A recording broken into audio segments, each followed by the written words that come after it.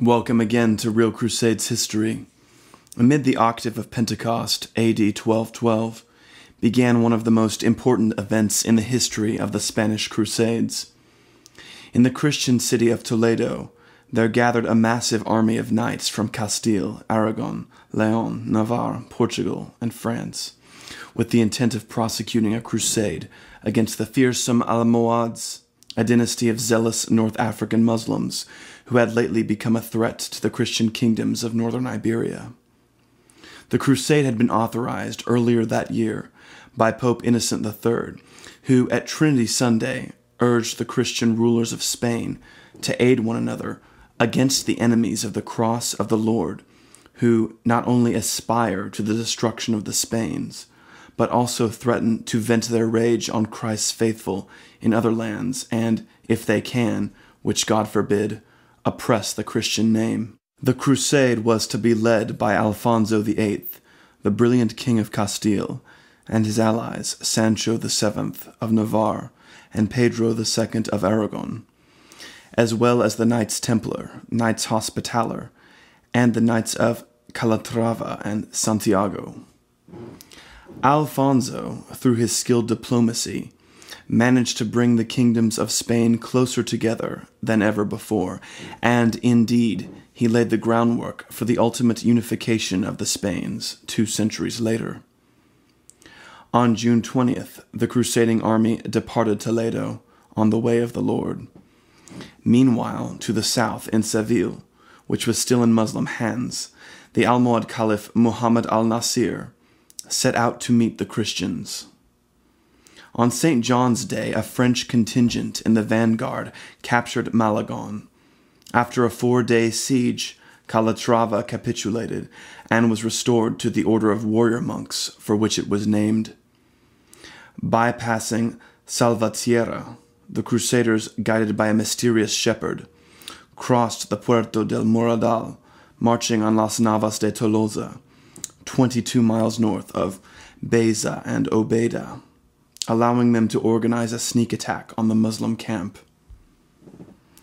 Archbishop Rodrigo gathered the knights together to confess their sins and receive communion before the encounter with the Muslims.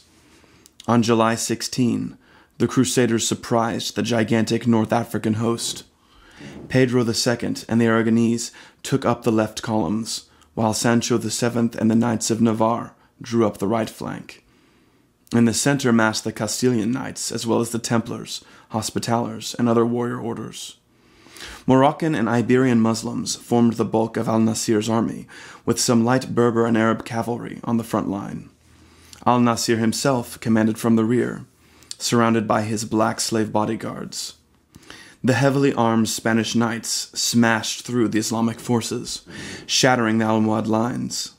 The Navarrese troops, led by Sancho VII, penetrated as far as the Caliph's bodyguard, slaughtering many of the slave troops of al Nasir, who himself only narrowly escaped. The military orders fought hard on the front lines, and some of the only Christian casualties were from their ranks. Overall, it was a sweeping victory for the Christians and a crushing, humiliating defeat for the Muslims. What remained of al Nasir's army fled in terror to Marrakech. Archbishop Rodrigo led the knights in singing Te Deum Laudamus. Among the enormous amounts of booty captured from the Muslim camp was the tapestry covering the caliph's tent, sent to the monastery of Las Huelgas, where it still hangs today, as well as the caliph's lance, gold stitched standard, and silk tent, all sent as trophies to Pope Innocent III in Rome. King Alfonso VIII sent the following account of his victory to Pope Innocent. On their side, a hundred thousand men or more fell in the battle, according to the estimate of the Saracens whom we captured. But the army of the Lord, incredible though it may be, unless it be a miracle, hardly twenty five or thirty Christians of our whole army fell. Oh, what happiness! Oh, what thanksgiving! Pope Innocent III was elated and had the king's letter read before the people of Rome. Alfonso's daughter, Berengaria, wrote of the victory to her sister, Blanche of Castile. Our father, the king and lord, conquered Miramomelin in a pitched battle. We believe this to be a signal of honor because until now it was unheard of that the king of Morocco should be overcome on the battlefield. Las Navas de Tolosa proved a turning point in the history of Spain. From then on, the Christians had the advantage and Islam was in retreat.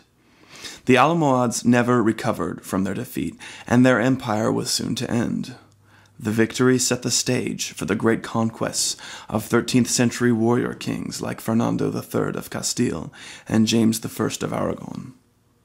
For those of you interested in my historical fiction, I finished the first draft of my first novel, which deals with the First Crusade, and I have begun work on my second novel, which is a sequel taking place between 1110 and 1120 during the reigns of Baldwin I and Baldwin II as they established the Kingdom of Jerusalem. I plan on finishing a final draft for my first novel in the coming months and ultimately having it ready for publication early next year. Thanks so much to all of you for watching and taking an interest in the Crusades. Next week's video, by request from Failure Bannock, will deal with King Baldwin IV of Jerusalem.